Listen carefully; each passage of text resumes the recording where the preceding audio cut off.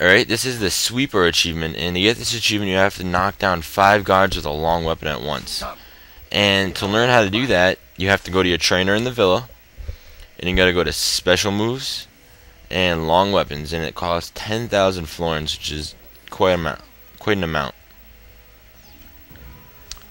So it makes you do the sweep attack four times, and by doing it, you have to hold X for a minute, and just let go and it'll sweep them off their feet. Once more, Ezio. And you might not want to just keep spamming it because I don't know what happened here. They glitched up on me. I did it like five times and it took the fifth time for me to get counted as three. So I don't know. But you learn the sweep skill and then you want to fast travel to San Marco in Venice because you can't pick up one of these weapons.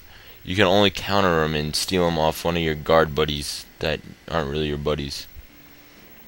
So right off the bat, you see this guy here. Wait for him to walk over to this haystack and punch him right in the back of the head. Make sure you're barehanded and hold right trigger. And then when he swings at you, just counter him. Grab his weapon and run away and get a bunch more guards on you. And this took me a minute, so we're gonna fast forward this. Look at Ezio run. Guy's a champ. Get a nice bunch of guards on me.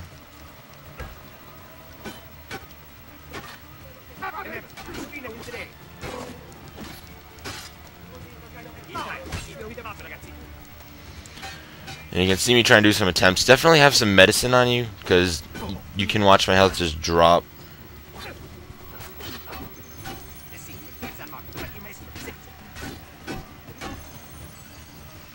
And coming up is where I get the achievement. We're almost there. It's a tricky achievement to get. Killing or knocking civilians down doesn't count, or I would have just got it. And that was almost 5, and my screen lagged up there. That was actually my Xbox. And on our third try, we get a decent amount of guards, and there it is 10 gamer score.